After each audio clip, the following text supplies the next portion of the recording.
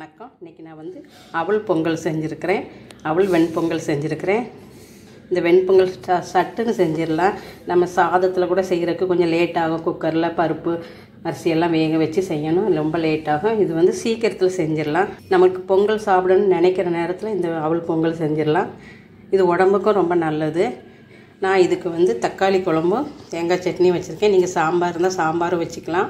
இந்த தக்காளி குழம்பு வீடியோ ஏற்கனவே போட்டிருக்கிறேன் பாருங்கள் வாங்க இந்த அவள் பொங்கல் எப்படி செய்யலான்னு பார்க்கலாம். அவள் வெண்பொங்கல் எப்படி செய்யலான்னு பார்க்கலாம் வாங்க.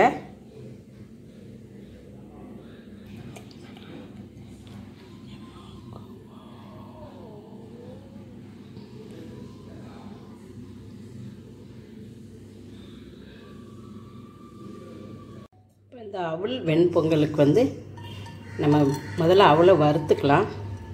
ஒரு ஸ்பூன் நெய் ஊற்றிருக்கிறேன்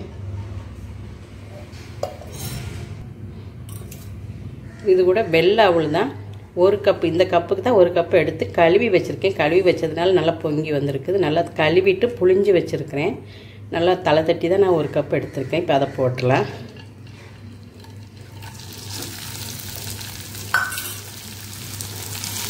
ஏதாவது தூசி கல் மண் இருந்தால் வந்துடும் அதுக்காக கழுவி வச்சுருக்கேன். இதை நான் கொஞ்சம் நேரம் நெய்யில் வதக்கிக்கலாம். இப்போ வறுவட்டு சிம்மிலே வச்சு ஒரு அஞ்சு நிமிஷம் வறுத்திங்கன்னா போதும். இப்போ இதை எடுத்து ஒரு பாத்திரத்தில் மாற்றிடலாம் இப்போ அதே கடாயில் ஒரு ஸ்பூன் நெய். கொஞ்சமாக ஆயில் ஊற்றிக்கலாம் ஒரு ஸ்பூன் நெய் ஒரு ஸ்பூன் ஆயில் ஊற்றிருக்கிறேன்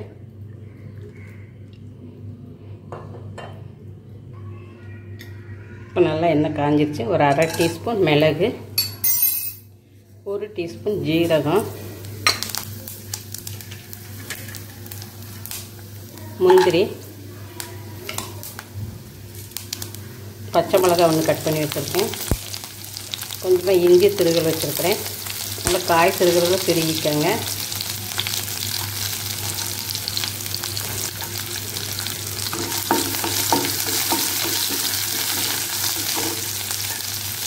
கருவேப்பிலை. வாசனைக்கு பெருங்காயத்தூள்.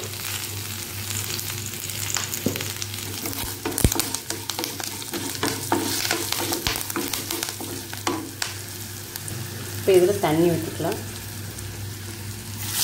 எந்த கப்புக்கு நீங்கள் அளத்துலேருந்து எடுக்கிறீங்களோ அவ்வளோ அதுக்கு ஒரு கப்புக்கு ரெண்டு கப்பு தண்ணி.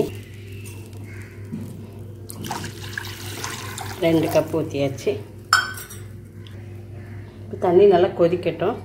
அதுக்குள்ளே நாங்கள் வந்து பாசிப்பருப்பு வேக வச்சுருக்கிறேன். ஒரு டம் எந்த கப்பில் நீங்கள் அவ்வளோ அளக்குறீங்களோ அதுக்கு ஒரு கால் கப்பு பாசிப்பருப்பை நல்லா கழுவிட்டு ஒரு அரை மணி நேரம் ஊற வச்சுட்டு தண்ணி ஊற்றி மஞ்சத்தூள் போட்டு நான் வேக வச்சுருக்கிறேன். இந்த மாதிரி நீங்கள் குக்கர்லேயும் வச்சுக்கலாம். நான் பாத்திரத்தில் தான் வேக வச்சுருக்கிறேன். இப்போ இதை எடுத்து ஊற்றிடலாம் நல்லா குலைவாக வேக வச்சுக்கோங்க.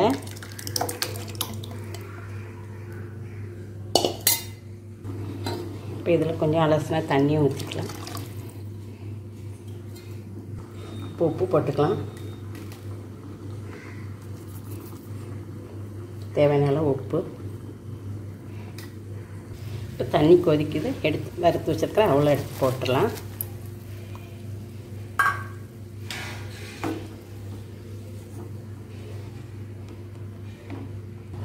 அவ்வளோ சட்டுன்னு வெந்துடும் நல்லா கொதித்து வேகட்டும்.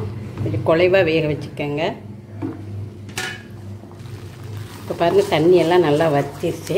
நல்லா இப்படி கரண்டிலே மசிச்சு விட்ருக்கேன் இப்போ இதில் ஒரு நூறு மில்லி பால் எடுத்திருக்கேன். அதையும் ஊற்றிக்கலாம் பால் ஊற்றி செய்யும்போது டேஸ்ட்டு நல்லாயிருக்கும்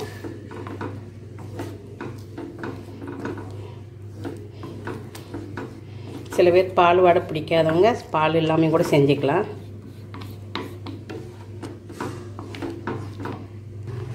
இப்போ ரெடி ஆயிடுச்சு. இது மேலாப்பில் கொஞ்சமாக நெய் ஊற்றி இறக்கிடலாம். கடைசியில் நெய் ஊற்றும் போது நல்லாயிருக்கும் சாப்பிட்றதுக்கு.